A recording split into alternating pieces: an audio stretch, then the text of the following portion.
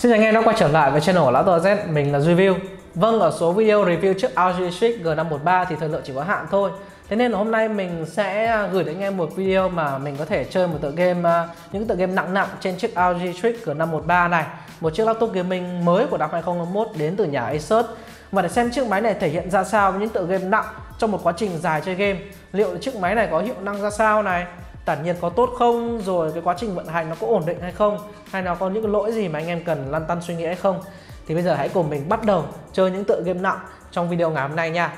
Và bây giờ thì hãy cùng mình game on nghe sau intro của video.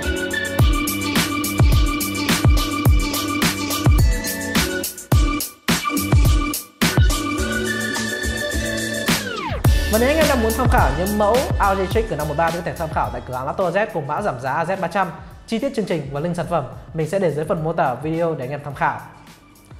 Ở phần đầu video thì mình sẽ nhắc qua một chút về cấu hình để cho anh em à, mường tượng được nhé.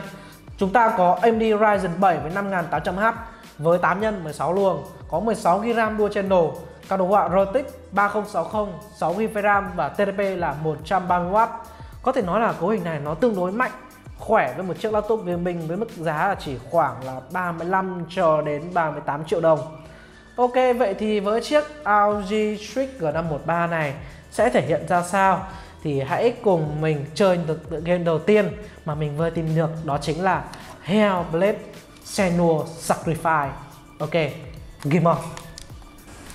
Với tựa game Hellblade Senua Sacrifice này thì thực ra độ phân giải 2K thì mình nghĩ mới làm khó được cái RTX 3060 chứ very high cho setting với cái tựa game AA này thì mình nghĩ là nó vẫn khá là thoải mái với tựa game như này anh em thấy ngay là very high setting này thì nó vẫn được 100 fps nên em theo dõi bài MSI Bravo 15 của mình RX 5500M thì nó chỉ kéo được khoảng very high thì nó chỉ kéo khoảng 40 đến 50 60 thôi. Ở 3060 thì nó quá mạnh rồi, không thể so sánh được. Và nó quá dư giả để anh em chơi. Quan trọng nhất là cái tựa game này mình test cho anh em xem là về khả năng hiển thị của cái màn hình này và thêm vào đó là nhiệt độ cả đồ họa này trong quá trình hoạt động nặng nó sẽ thể hiện ra sao là chính còn với PES thì là tựa game nó ăn nặng về cả CPU đến card để xem chiếc máy này chạy mắc ping nó ra sao thôi. Và với tựa game nó gọi là ở mức tiêu chuẩn thế này. Thì à, ví dụ như kiểu Shadow Tomb Raider rồi những cái tựa game A hiện nay thì đa phần nó sẽ ăn như kiểu như này là càng đồ họa ăn nhiều CPU nó ăn ở mức vừa phải. Nó tới một cái CPU 8 nhân như Ryzen 7 này với tựa game như thế này nữa thì nó là còn mát nữa đúng không? Nhiệt độ nó chỉ khoảng 75 độ C. Xung nhịp nó không phải hoạt động quá là cao tại vì là toàn nhân nó hoạt động rồi mà 8 nhân hoạt động thì nó quá nhiều. Thành ra nó không cần hoạt động quá là vất vả cho lắm. Ok, vậy thì với Hell Duel Hellblade Senua Sacrifice, hãy cùng mình chơi. Cảm nhận tựa game này và cảm nhận chiếc máy này hoạt động ra sao. Cái điểm mình thích nhất trên máy, chiếc máy này thì nó cũng là một cái điểm nữa, đó chính là về bàn phím. Bàn phím gõ khá này khá là ok. Ghét mỗi cái phím W nó có cái trọt trọt ở trên này, chả hiểu sao hãng lại làm cái trọt trọt này là cái gì. Cầm bấm lên nó khá là khó chịu. Ok, bây giờ để chơi nào.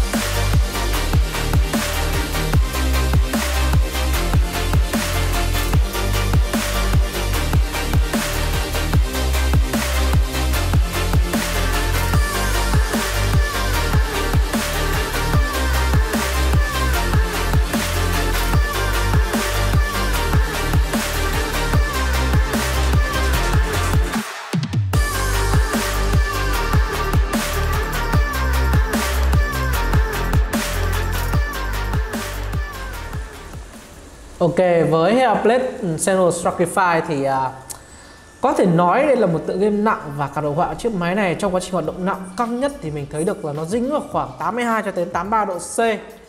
Và theo mình thấy cái mức nhiệt độ này thì nó ổn nhưng công bằng mà nói thì mức nhiệt độ này cần phải cải thiện hơn so với phiên bản năm sau.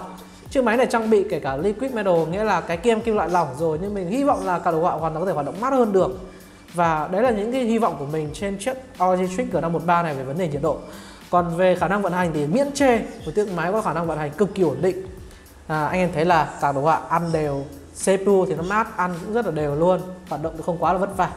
Với Hellblade Sequence Hellblade Hellblade Senua Strapify hơi khó đọc tí anh em ạ nhưng mà tựa game này mình đánh giá là tương đối hay và cũng tương đối là nặng để test những tựa game hiện nay. Và hy vọng là qua bài test này thì uh, chúng ta sẽ chuyển sang một tựa game khác để xem chiếc máy này thể hiện ra sao. Hellblade No Sacrifice chỉ là game A bình thường thôi. Ok bây giờ hãy chuyển sang tựa game tiếp theo nha. Anh em có thể thấy là với tựa game này, nó chưa cần phải làm gì quá nhiều. Mới đang ở setting game thôi, đang chọn Arsenal thôi. Mà nó lên đến 48W cho CPU xung nhịp giữ không tụt phát nào. Nhiệt độ 84 độ C thôi. Cả đồ họa thì đang ở khoảng 80W chưa phải là cái mình mong muốn đâu, tí vào game nó sẽ biết à, với setting của tựa game này thì mình đang để setting của tựa game này nếu mình nhớ không nhầm là ở setting 2 anh em nhé FPS ở lúc lát game này thì không tính tí bắt đầu chúng ta vào game thì chúng ta nói chuyện tiếp Ok, với uh, với PES 2021 này thì uh, sẽ tập trung chơi thử xem luôn tựa game này ra sao. Anh em thể thấy là nó ăn rất nhiều về à, uh, CPU và nhiệt độ chiếc máy này đang giữ rất ở khoảng 87 độ C ở mức tối đa luôn anh em ạ. Rồi xung nhịp không tụt phát nào. Ảo thật đấy. Ok, và bây giờ thì à, bắt đầu để xem là tựa game này sẽ ra sao. PES thì là một tựa game uh, gọi là tương đối uh, khá là ok ok la rồi. Uh, thêm vào đó thì uh, uh, với PES thì uh, cái màn hình này nó có độ sáng tương đối cao anh em ạ. Và có thể nói là trong quá trình chơi thì cái uh, nhân vật cầu thủ thứ hiện lên nó khá là rõ à, có một điểm mình à, duy nhất mình không ưng là cái phổ màu của màn hình này nó không phải là quá xuất sắc như mình mong đợi. À, ok mình sẽ giảm sáng một chút thì như nó hơi bị chói rồi anh em ạ. À, với tựa game này thì à, đây mình sẽ giảm cái xám đi một chút để cho nó đỡ bị sáng quá. Sáng quá nó cũng khó nhìn mà. Ok. Đấy, để nhìn hơn một chút rồi anh em với patch này thì à, anh em thấy không? FPS ở hai setting là được 200 cho cái RTX 3060 kinh khủng tởm. Bây giờ thì màn hình 144Hz nữa thì với những tựa game như này thì gọi là quá mượt mượt như bơ luôn. À, thêm vào đó nha thì anh em thì thấy là nhiệt độ chiếc máy này trong quá trình chơi game thì nó tương đối là khoảng nó, nó gọi là ổn định. Cả đồ họa là khoảng 82 83 độ C trong 123W và CPU là khoảng 88 độ C cho việc là anh em chạy đến 85W à 45W xin lỗi anh em. Anh em thấy là nó ăn cực kỳ nhiều điện. Và cái việc ăn nhiều điện này thì nhiệt độ nó sẽ tương đồng. Nếu anh em thích ăn ít điện hơn thì anh em sẽ để xuống cái chế độ gọi là performance trên chiếc máy này. À, cái chế độ performance thì mình nghĩ là nó vẫn chả thay đổi gì anh em ạ. Mình rằng dù mình để nó performance rồi. À đây nó giảm một chút đi rồi. Nó giảm đi khá khá rồi anh em ạ. Tiếng quạt nó sẽ đã giảm đi một chút nhưng mà cái mức nhiệt độ thì nó không giảm đi quá là sâu như mình mong đợi. Còn nếu anh em thích để uh, yes! Còn anh em mà thích để nó xuống silent nữa thì cũng được, nhưng mình nghĩ là silent nó sẽ khá lag và nó sẽ drop fps tương đối nhiều. Mặc dù chiếc máy này là một chiếc máy mạnh và mình nghĩ là việc drop fps và nhiệt độ nó lanh quanh được khoảng 83 độ C thì nó cũng không phải cái gì mà mình mong đợi lắm. 89 với 83 thì nó cũng tương đương, thế nên mình sẽ để lại về turbo cho anh em à, xem xét là chiếc máy này hoạt động căng hết cỡ ra sao. Vì mình nghĩ đây là một trong những chiếc máy hoạt động căng hết cỡ, có mức tản nhiệt tương đối tốt à, có một điểm anh em cần lưu ý nữa là cái tiếng quạt chiếc máy này nó ồn hơn một chút so với những gì mình mong đợi. À, mình đã trải qua một thời gian nhưng mà mình chưa nghĩ là tiếng quạt nó đã to đến như cái tựa game này. Đây là đầu tiên mình thấy cái quạt này nó to. Nhưng nó đã to là to với nó thôi. Còn việc mà cái chiếc máy này nó mát thì nó vẫn rất là mát anh em ạ. Anh em không phải bắt lăn tăn suy nghĩ gì. Aubameyang ui giời ơi ok và với PES thì mình sẽ chơi khoảng nửa đầu hiệp một để xem tựa game này thể hiện ra sao nha.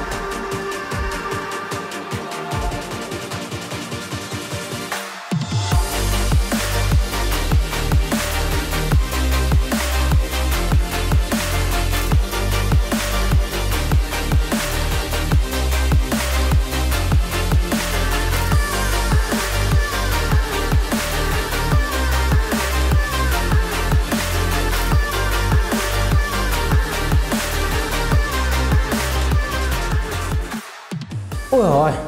Và với tựa game PES này thì anh em thấy là với chiếc máy này thì nó rất ok luôn. Và sau một quá trình mình chơi thì anh em thấy nhiệt độ nó tụt xuống khoảng 75 độ C rồi, nó không còn nóng nữa. Nó tương đối mát với tựa game như này. Và mình không hiểu sao chiếc máy này nó lại chỉ chạy cạp, nó không căng như mình mong đợi thì phải. Lúc nãy mình, nó chạy khá là cao còn bây giờ mình để lại turbo mà nó vẫn không chạy quá là nhiều như mình nghĩ đấy mình đã để lại turbo rồi nhiệt nó bắt đầu lên uh, cho cạp rồi CPU nó vẫn khá là mát. Uh, ok với tự game pass này thì uh, khá ngon. 49 45W điện mà nhiệt độ 81 độ C. Quá ngon rồi chê ở đâu nữa anh em? Và bây giờ mình sẽ chuyển sang một tựa game nữa. Uh, để xem chiếc máy này thể hiện ra sao. Ok nhá với tựa game pass này vô tư anh em có thể chơi tất cả PES hai setting rất là ngon rồi.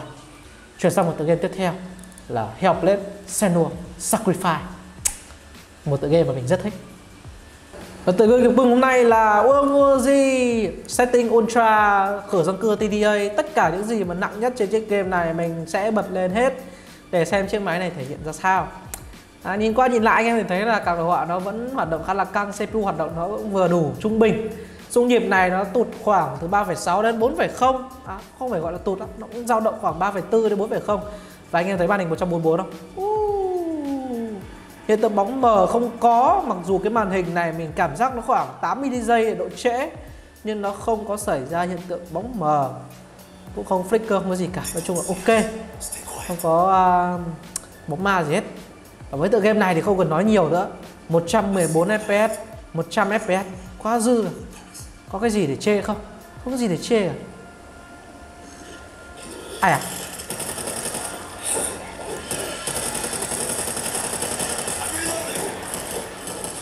Ai à? Ok. Bắt đầu chơi nha.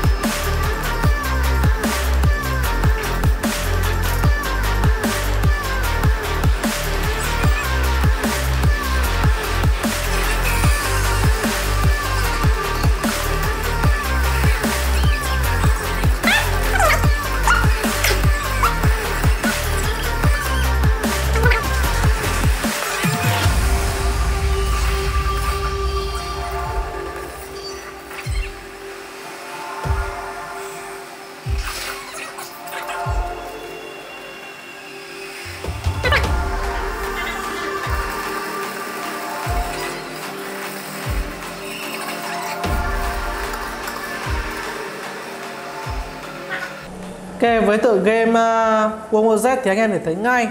Với một tựa game như thế này thì uh, chiếc máy này hoàn toàn có thể chiến ok và không gặp khó khăn gì. Có lẽ để anh em làm khó được với RTX 3060 như chiếc máy này thì anh em phải cắm ra màn hình 2K hoặc là chọn bảng option màn hình 2K để chơi thì chắc là mới làm khó được chiếc máy này. Rồi bật ray tracing các kiểu lên chứ. Với tựa những tựa game như thế này có vẻ là chưa đủ làm khó RTX 3060 rồi và với mức giá khoảng 35 cho đến 38 triệu cho bản 3060 thì mình nghĩ là bây giờ anh em bỏ số tiền này ra là anh em có thể chơi tất cả những tựa game hiện nay. Không phải lăn tăn suy nghĩ thêm về bất cứ một vấn đề gì nữa. Và thế là những cái điểm mà chúng ta cần là có hết rồi. Ok, với tựa game cuối cùng ngày hôm nay là Uomo Z. Chiếc máy này hoàn toàn có thể chơi mượt và ngon. Anh em nhé Ok, với ba tựa game tương đối nặng hiện nay mình cho rằng là những tựa game này nó đã đủ sức để cho anh em thấy được là chiếc ROG Strix G513 này nó mạnh ra sao, nó khỏe như thế nào và khả năng vận hành chiếc máy này ra sao. Tất nhiên là nhiệt độ của cao đồ họa trong chiếc máy này vẫn cần được cải thiện hơn nhưng mình đánh giá điểm mạnh lớn nhất của chiếc máy này chính là tiếng quạt rất là yên tĩnh, không làm phiền ai và chính bản thân chúng ta trong quá trình vận hành chơi game thế này là rất là tốt rồi. Và ok, tất nhiên rồi, nếu anh em đang muốn tham khảo những mẫu RG Switch G513 này tại cửa hàng Auto AZ thì hãy tham khảo là Lato Z cùng mã giảm giá Z300. Chi tiết chương trình link sản phẩm mình sẽ để dưới phần mô tả video để cho anh em tham khảo. Và bây giờ thì xin chào và hẹn gặp lại anh em trong những video tiếp theo. Đừng quên like, subscribe, chia sẻ cho channel của Lato Z nha. Tạm biệt và hẹn mọi người trong những video sau.